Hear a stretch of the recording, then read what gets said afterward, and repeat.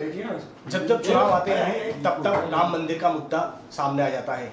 इस बार फिर लोकसभा चुनाव है और राम मंदिर का मुद्दा फिर से गरमाने लगा है। इसी बीच मध्य प्रदेश से दिग्विजय सिंह जो कि काफ़ी सीनियर नेता है और पूरे केंद्र और मध्य प्रदेश राज्य में जिन्हें काफ़ी सीनियर माना जाता है उन्होंने उन्होंने कुछ दिन पूर्व फिर अपना बयान दिया और बयान में राम मंदिर का मुद्दा उठाया। उन्होंने कहा कि मध्य प्रदेश में काफ़ी ज़मीन पड़ी है और वे राम मंदिर निर्माण के लिए ज़मीन देने को तैयार हैं।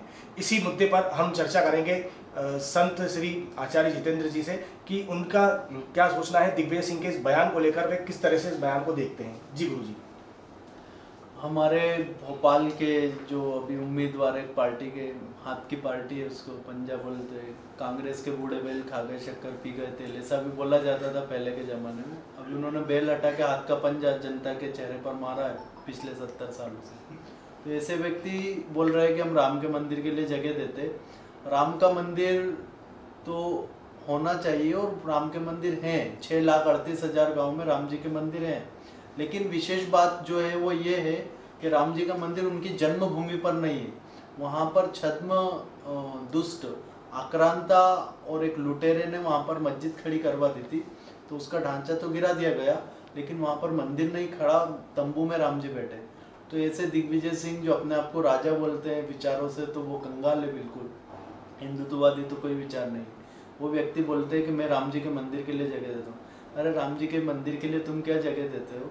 और तुम्हारा हैसियत क्या है? अगर तुम्हारा हिम्मत है तो बाबरी मस्जिद का नामो निशान मिटवा दो वहाँ से और राम जी का जन्म भूमि पर भव्य मंदिर का निर्माण करवाओ।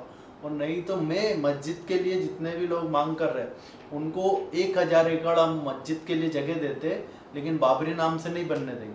बाबरी नाम से तो कंकर भी खड़ा नहीं होने देंगे इस देश के अंदर, जो हमारी माँ बहन बेटियों की इज़्ज़त लूटा, उसके नाम से तो एक कंकर भी खड़ा नहीं होने देंगे। खड़ा, मस्जिद करो ना, हम मना नहीं करते। मस्जिद खड़ी करो, जहाँ इच्छा होगी वहाँ पर एक हज़ार एकड़ हमारा आश्रम जगह देगा मुसलमानों को, और वहाँ पर धार्मिक शिक्षाएँ हम देंगे उनको। लेकिन सब कुछ इस देश के नियमों के अनुसार। गुरु जी एक बात देखने आई है, लोकसभा चुनाव आए हैं और राम मंदिर का मुद्दा आया है।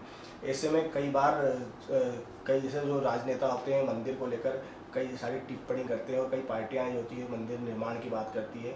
अभी ऐसे में थोड़े कुछ दिन पूर्व साधु संतों ने भी चेताया था कि अगर राजनीतिक पार्टियों से मंदिर निर्माण नहीं होता है तो हम मंदिर निर्माण करेंगे। तो क्या लगता है कि अब साधु संत आगे आकर इस मंदिर निर्माण को लेकर एक कड़ा कदम उठाएँगे या फिर पार्टियों को चेताएँगे? नहीं, साधु संत तो जब चाहे तब बना सकते मंदिर और उनको कोई नहीं रोक सकता क्योंकि सेना उनका सम्मान करती, पुलिस उनका सम्मान करती। यहाँ तक कि जज, न्यायाधीश सब उनका सम्मान करते हैं। तो साधु और मुसलमान भी सम्मान करते हैं, मौलवी भी सम्मान करते हैं। तो किसी का हैसियत नहीं उनको रोकने का तो आराम से मंदिर बना सकते साधु संत। लेकिन वो तो इस देश की व्यवस्थाओं का, संविधान का पालन करते हैं। इसके लिए कोई गलत कदम नहीं उठा रहा है। वैसे राम जी के मंदिर को बनाना कोई गलत कदम नहीं, लेकिन फिर भी संविधान का मर्यादा में रहकर कार्य करना साधुओं का एक नैतिकता होता है। इसके लिए वो अभी कुछ नहीं कर रहे, लेकिन जो पार्टियाँ कहती है कि राम मंदिर बने, उनका हम रास्ता देख रहे हैं। और सबसे बड़ी बात यह है कि ऐसे लोग ना जीत जाए चुनाव में। जो राम जी की तो बहुत दूर की बात है, जो हिंदुत्व खत्म करने पे तुले तो ऐसे लोग ना जीत जाए।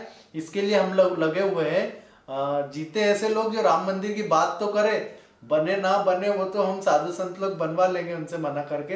लेकिन कहीं ऐसे लोग जीत गए जो बीफ खाते हैं जो सड़े आम गा, गायों का गला रहते हैं वो जीत गए। तो हिंदुत्व तो बचेगा ही नहीं सात समंदर में गड़ जाएगा।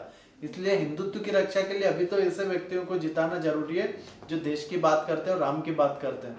जो राम के नाम पर इस देश में राजनीति की ऐसे लोगों ने आना चाहिए लेकिन जो राम के नाम को डुबाने की काम करते हैं हिंदुत्व को बर्बाद करने का काम करते हैं ऐसे लोग कभी नहीं जीतना चाहिए। तो इस बार चुनाव में भी राम मंदिर का मुद्दा है और साधु संतों का कहना है कि हम राम मंदिर तो कभी भी बना लेंगे लेकिन सरकार का काम है राम मंदिर।